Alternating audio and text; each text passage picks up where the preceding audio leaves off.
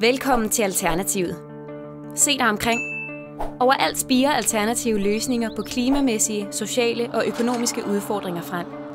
Der er masser af folkeligt engagement, gode idéer og praktisk viden overalt i landet. Desværre er samme energi, lyst og mod ikke afspejlet nok i det politiske system. Her er det business as usual, og længslen efter at gøre noget anderledes kan være svær at få øje på. Derfor har vi skabt et nyt parti, som vil styrke den positive bevægelse, der er i gang med en politisk stemme, og som vil arbejde for, at samme drivkraft og idérigdom vil dominere den politiske debat og tone.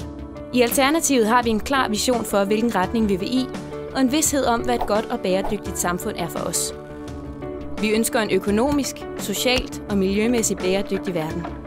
Vi ønsker et samfund, hvor staten viser tillid til borgerne, og hvor kunst og kultur er en prioriteret del af vores samfund. Vi ønsker et styrket fokus på kreativitet og iværksætteri, og vi ønsker et samfund, som er mere generøst, empatisk og modigt. Men vi har stor respekt for, at det ikke kun er os, der har bud på, hvordan vi former et sådan samfund. Faktisk tror vi på, at vi har brug for viden og idéer, både fra eksperter og politikere, men nok i endnu højere grad fra de mennesker, der har erfaringer i praksis fra deres hverdag. Derfor vil vi i Alternativet udvikle vores politik med inspiration i open source-tankegangen. Altså troen på, at flere ved.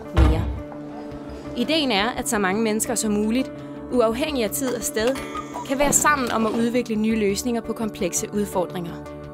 Det skal være så let som muligt at deltage, uanset om man har meget på hjertet eller kun en enkelt kommentar. Alle bidrag er værdifulde og tegner en del af det samlede billede. Alternativet er også et internationalt parti. Når vi gerne vil understrege, at vi er internationale, er det fordi en lang række af de spørgsmål og udfordringer, der virkelig optager os i dag, ikke bare er knyttet til os i Danmark, men så at sige kommer uden pas.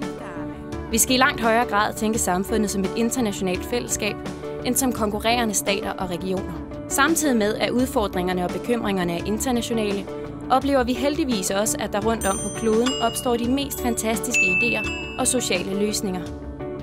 Derfor har Alternativet allerede ambassadører over hele verden. Ambassadører, som skal hjælpe os med at skabe nye samarbejder, dialog og inspiration på tværs af landegrænser. Der er altid et alternativ.